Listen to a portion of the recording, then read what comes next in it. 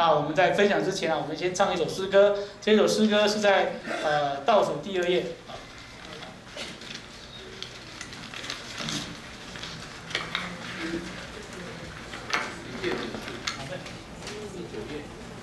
我们唱后面这个第九页的诗歌《一件美事》。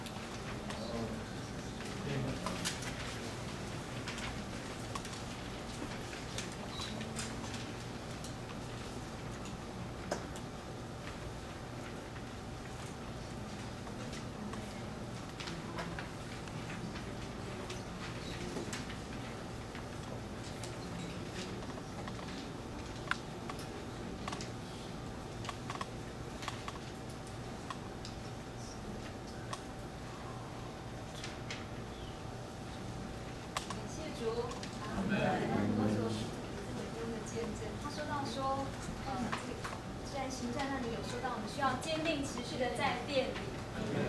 但是呢，我还更需要的就是家聚会，就是挨家挨户剥饼，需要有这个家聚会的实行。哦，自己记得我刚得救的时候，也是有一个姊妹很忠信，她几乎天天跟我一起，就是中午的时候跟陪我五星，因为那时候那时候我住呃我住的地方。那时候我因为呃那时候我那时候还没起初得救，还没有住姊妹之家，所以他那时候天天就想要约我诚心，可是我没有办法，我就说我现在很努力，可是我觉得我没有办法到，那他就天天中午陪我家聚会，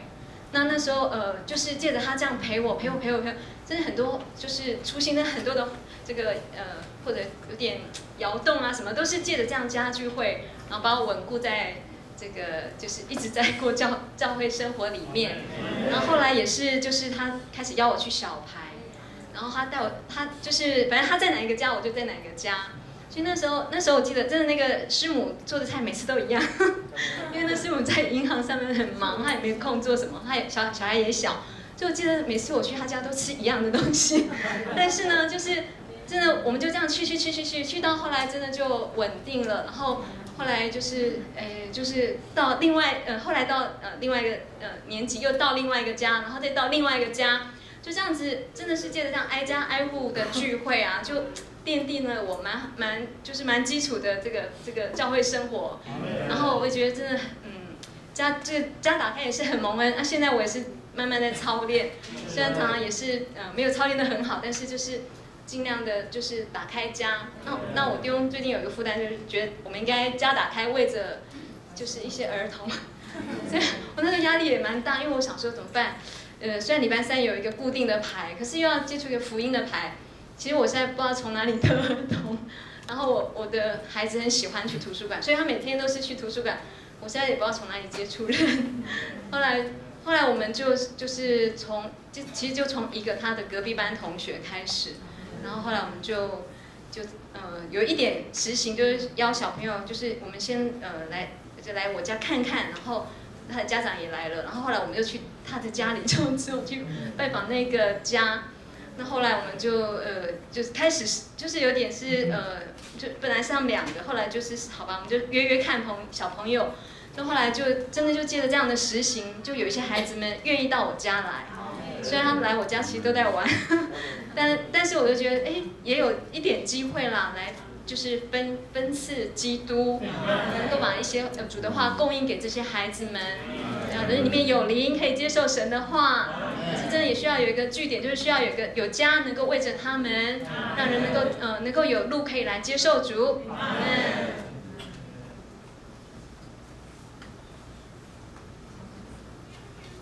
感谢主，我刚刚听那个呃郑伟弟兄分享哈，我其实里面也是在那边蹦蹦跳，因为我觉得哈，呃我我刚来十五会所的时候，其实我我没有正常的聚会，可是呢，感谢主哈，呃我不知道为什么呃廖姐会找君文他们就一起到，就是来找我说呃想到我们的那个店里去。跟我们一同追求，那其实我真的到了很久以后，我才知道，我才明白原因哦。嗯，在这个被牧养的这个过程里面哈，我觉得主真的很爱我们哈，就是借着呃姊妹们可能呃有一些负担，有接受到负担，然后就呃就来喂养我们那。时间过得很快，好像已经快四年了哈。就这样子，我觉得就从从我们那个小小的啊，大概啊四个人开始哈，慢慢五个人。当然现在呢，有时候就是说也不是很稳定，但是来来去去，现在也是维持到五六个人。但是我觉得就这样子，我觉得这个家就很蒙福，就这样被建造起来。那。我真的要感谢哈，就是说神一直在在我们的旁边呢，为我们预备有这样子的弟兄姊妹、这样的圣徒来服侍我们。那也希望自己能够有这样的负担哈，就是说能够出去哦，看到有一些呃需要扶持的弟兄、比较软弱的呃弟兄姊妹需要我们扶持的时候，真的我也盼望我能够接受这样的呼召哈，能够走出去，好吗？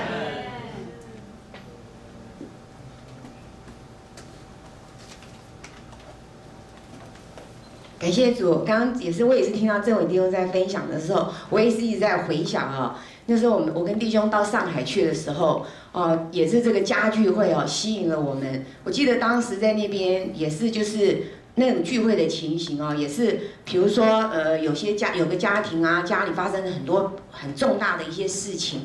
就是很需要，就是说他根本就是没有办法出来聚会，那我们就送会到家，甚至在他们家有什么偶像啊什么，还到他们家去祷告去了，还去猜偶像。那有的弟兄姊妹他家里开餐厅啊，我们那时候觉得说，怕他刚开始餐厅开餐厅有压力啊，反正我们也都是要吃饭，所以我们就直接晚上就到那边餐厅去吃饭，吃了饭就在那边跟他们聚会。就是这样子满了很生机的这样子一个聚会的光景啊，我觉得我跟弟兄也是在这样子的一个环境一个情形下，我们被恢复了，我们也在这样子的一个情形里面，我们也蒙福了。那我觉得当然回到台湾，我也觉得说。哦，满了这个觉得说哇，台湾真的是那时候我们在上海就常常听到说台湾是一个这个这个真理的苗圃啊，更是在这个聚会来讲，就是更是在我们的装备上面，是我们必须就是当我们摸到主，我们享受的时候，我们觉得回到台湾这是一个必须要。接呃就是需要来这样子被成全的一个地方。那我觉得我跟弟兄回到呃台湾来的时候，回到苏会所，我们也很很喜乐，愿意把家打开。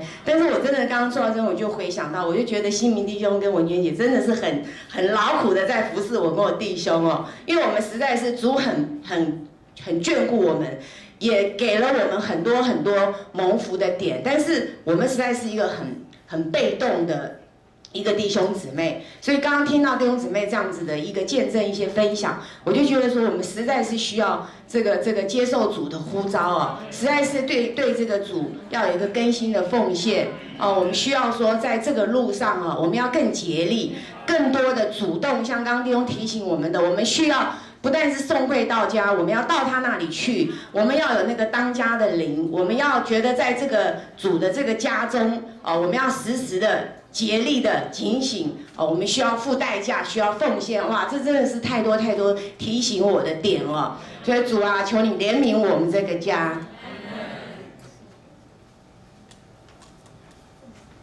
呃，我我最早过教会生活是是在我这个高中的时候。那我读高中的时候是在台中大甲啊，那那个时候就是有一个。自由传道人，然后就到到那边去去去牧养我们。那简单的说，我我他实在是一个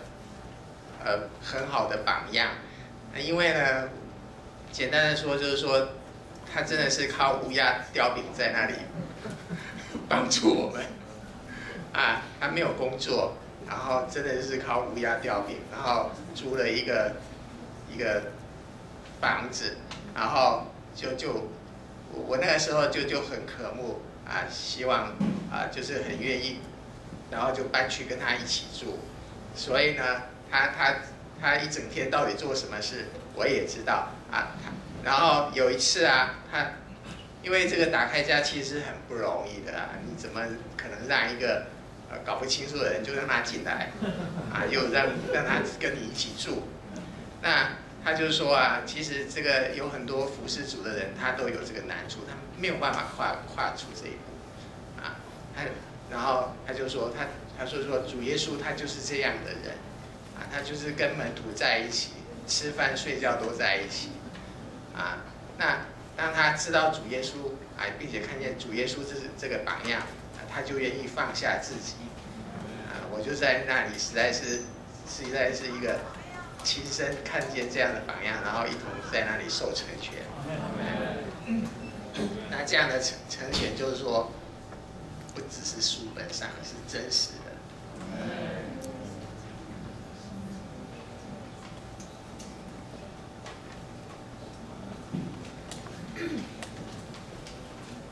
呃，你们，呃，呃，我摸着早期的教会。就是使徒保罗所问安的亚细亚教会生活是令人羡慕的，嗯，因为他们天天同心合意，呃，坚定持续在店里，并且挨家挨户拨饼，对吧？我认为这是符合符合神的心意，讨神所喜悦的，嗯，对吧？因为这个家中聚会啊，合乎神新约的经纶，嗯，对吧？就去让我看到这个小聚会和大聚会是一样的重要。对吧？所以这个组织聚会可能和在家中聚会一样的重要，对吧？因为这个这里说到天天同心合意啊，就好像说它是个 standard，就是一个正常状态，蛮对。如果偏离这个，就是非正常状态，对吧？所以这个恢复呢，就是被恢复到正常状态，然后挨家挨户波比，啊，在家家台开，对，是是一个是 norm 对，偏离就是 abnormal，对。然后对吧？那，就让我看到这个家中聚会就是一个基础，可以建造神的那个神的家，们建可以建造教会，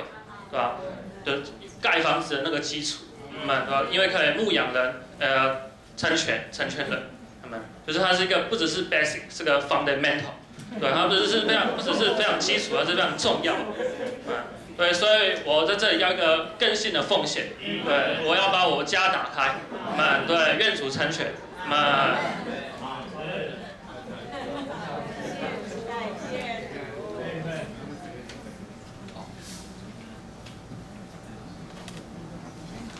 各位弟兄姊妹平安喜乐。我这次要分享，就是在昨天的时候，呃，因为我的工作不是礼拜六都有休假，那临时就这个月礼拜六休，就一突发奇想邀请姊妹们说一起聚一聚。那当时也没有多想什么，但大家聚在一起礼拜六中午的时候，意外发现我们心里都有一个感觉，就是我们的教会生活跟实际的生活是脱节的。其实我们来到组织聚会，去小孩聚会结束之后，就还是回到我们自己的世界里，对啊。然后在这交通中，我跟姊妹们就是意外的有了 小牌小聚会的实习。那我们让姊妹来说说我们的经历。感谢主啊，真的来就是意外约了大家星期五中吃了一个饭。然后其实就是，就是像朋友，就是约吃了一个饭的一个感觉的前提开始的。但是在那时候，我们真的就有一些讨论，然后发现我们都有一些心理内的一些挣扎，或是一些发掘的一些矛盾。经常呢，就是来到聚会，就感觉是一个非常纯的一个环境。然后呢，一上班，或是甚至就是离开聚会的，进到这个业当中。所以呢，像在艺术当中，你把黑和白放在一起，会混成一个灰色，所以那个白也没有那么白了，然后这个黑也完全没有怎么洗洁成，嘿嘿，呃，成成白色嘛，对不对？所以呢，就感觉像在在中间又不黑又不白，然后中间还这边很恨自己，因为呢也不能也要白也白不了，反正呢在中间会感觉非常矛盾。就是怎么让神可以融入到我们的生命当中，但是还可以让他的那个白还是维持的那个雪白那个亮。所以呢，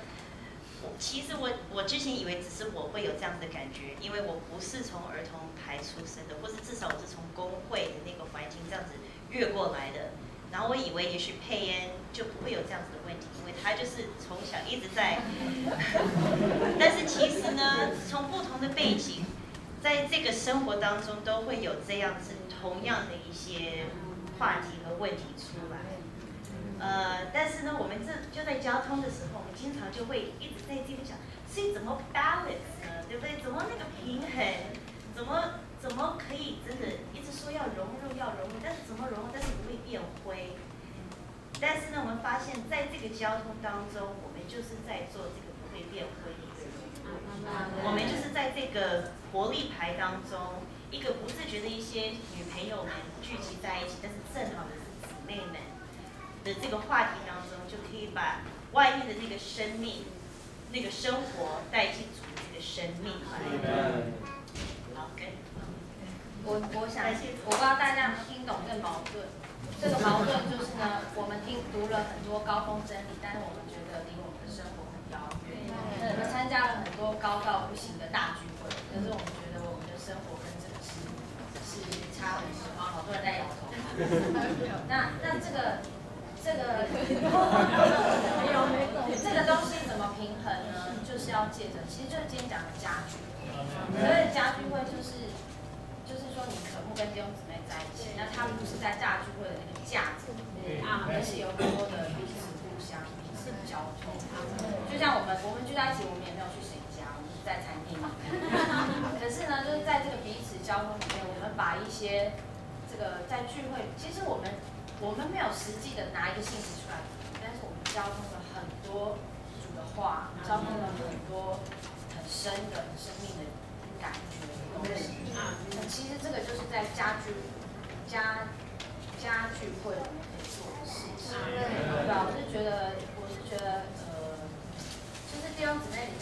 有这个可慕，就是可慕跟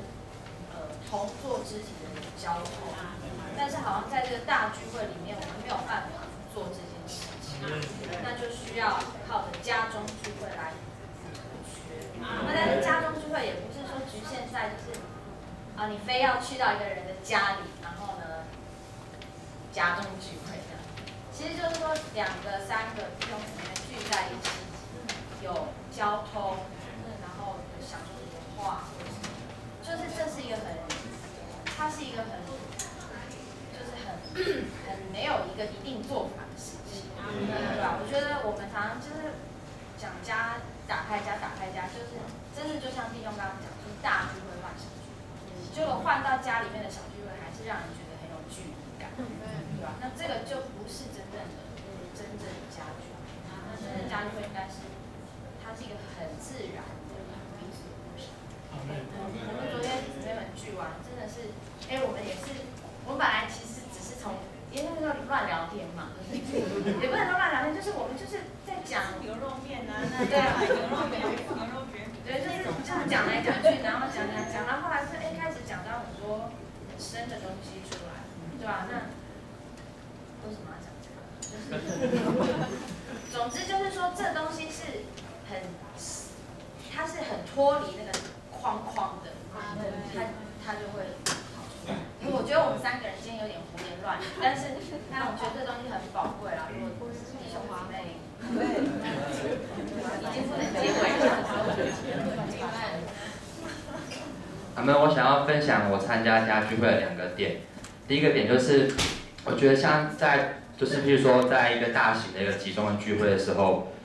可能我们就是当然都是在讲主的话，但是可能我们对这个圣徒好像比较没有那个机会太认识。但是我们如果去参加家聚会的话，是在家里面，我们就能跟很多的圣徒在这个家的单位的时候有很多的交通。我觉得好像真正的认识的时候是在这个时候会有比较深的这个交流这样子。我记得还有一次就是我那时候刚哥就在高雄的时候，就是有一个师母她对对我们这个亲子有负担，然后想要打开家这样子。那我们去的时候，因为这个师母不太会做菜。所以我们那时候去就是去读经，然后读读之后就好饿，大家想吃东西，然后他就去那个冰箱里面把那个冷冻柜打开，然后就煎那个大卖场的葱油饼给我们吃，然后就大家就觉得怎么吃那么，他后来也没讲什么，都就走了。然后下来第二次再来聚会的时候呢，我们这一次吃的那个葱油饼啊，上面还要加一个蛋，所以就就进步了。所以我觉得这个家打开其实呢，可以让这个。对这个服侍的人手艺可以进步，然后这个而且那个后来我们想说，那我们也来配搭好了啊，就大家一起来煮好了。所以在这个过程中，我自己开始学习煮饭，就在这个过程中。所以我觉得其实我们平常在大聚会的时候是对主有这个垂直的交通，可是在家聚会的时候是有这个升级水平这一面的交通，我觉得一样都很宝贝。而且有时候我觉得其实很需要，像刚才讲，其实我觉得在家的聚会当中才比较容易建立这个同伴。就是会有这个，这个，这个，你会在生活上会建立一些跟你很，跟跟你很这个常常在一起的同伴，然后在这个周中的时候可以有这个相调，有这个一起有这个玩打什么，我觉得都是在这个家聚会的过程中去去建立这样的关系，好们，这是我的感觉。刚才那个郑伟弟兄在教教那个呃很甜，就是家聚会他们有很多的形式哦。在这样子的家聚会里头哦，呃，实在是就是会有，有就是就是会有很甜美的交通，或者就是简单的来在一起唱诗。啊，那时候我就就突然里面就想到，那天我们在呃姊妹聚会结束之后呢，我们就到银凡家里去，然后在在银凡银凡家里头啊，也很甜美。然后我们就跟他的父亲就聊了很多很多，然后。呃，也没有，我们当然是本来是想要跟他传福音啦。那传福音，但是他父亲跟我们讲了很多很多很多，然后我们有的时候我们也不知道怎么样子在在跟他说，因为他父亲就是做了很多这一方面宗教的研究。那其实，但是我们要走的时候哦，啊，他他父亲就呃送我们出来，那我们都有感觉。他那一凡就说，他以前很同学到他家去，或者是朋友到他家去，他从来没有哦送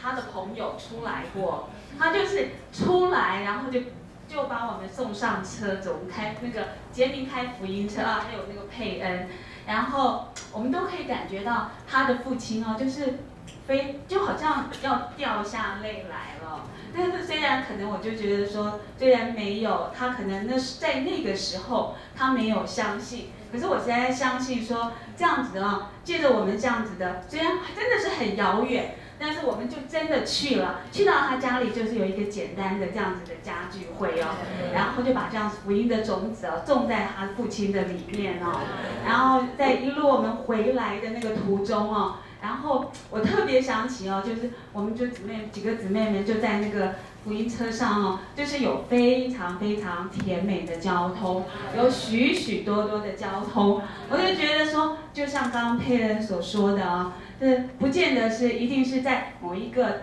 特定的地点哦，则是实在是我们在这样在这有有一个渴望哦，彼此啊，实在是里面是有一个。呃，彼此的里面生命的交通，这一个彼此的供应，我们就觉得真的是非常非常的甜美啊！我就觉得很渴望啊，在与姊妹们啊再来在一起哦，有这样子的交通。那我刚刚也是很摸着，因为我们在开始的时候的一些呃见证啊，特别强调两个点，一个是坚定持续啊，一个是啊挨家挨户啊。那这边强调他的在。呃，就是因为有一个家在那边，哦，一直打开，哦，然后他们只能够让，哦，让人能够一直的进到那个那个家中，哦，好，那挨家挨户，因为你刚刚也提到，要包，就意思就是说要每一个家，是这个家很怎么样，所以我们就去那个家，那个家很不怎么样，就跳过。老师就说，我们每一个家都是需要去，也就是说每个家你都是可以打开。那我想在后面也也是有提到，其实像这样的小聚会应该要多，但是它跟一个大聚会也是要呃要配合着，是不是？就是有点相辅相成的味道。所以一面来讲，就是心来讲，啊，就是这个跟朋友或者刚蒙温的啊用姊妹来讲，可能啊去小聚会是比较合适的，人不多啊，可以啊这个。畅所欲言，对不对？也比较没有距离感。人多就是有一个距离感，但是啊，慢慢的也需要在一定的时候啊，让他能够来到大聚会的中间。后面有提到是说，让能够看见这个基督的身体啊，对。所以我觉得啊，利用这边的负担就两个，就是小聚会啊，